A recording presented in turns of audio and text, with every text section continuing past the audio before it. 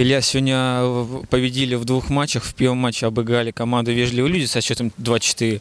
И второй вы, выиграли с «Континентом» 5-4. А, Буквально выгрызали. Расскажите по- про эти две игры и чем они отличались. А, Ну, в матче э, с «Континентом» э, было по- по- посложнее, потому что команда э, после, после пе- первого тайма был счет 2-2, по-моему, если не ошибаюсь.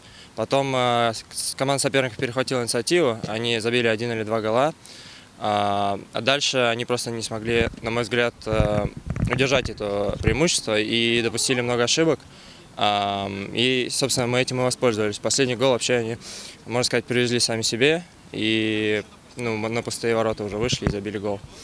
Вот. А во второй игре было как-то полегче, на мой взгляд.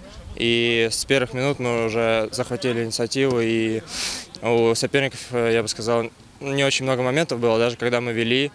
а, У них не удавалось, не удавалось создавать особо моментов, и мы могли забивать еще и четвертый, и пятый гол. Все было в наших руках, я бы сказал, весь матч. Сегодня был явно твой день. Расскажи, пожалуйста, чем питаешься? Может быть, с утра съел что-то такое тонизирующее? Пусть это будет секретом команды. Но на самом деле хорошо, что мы победили, это самое главное для, для нас, потому что прошлые две игры мы проиграли. Хотелось сегодня реабилитироваться. И главное, что, не, что мы выиграли, а не то, что я забил столько голов.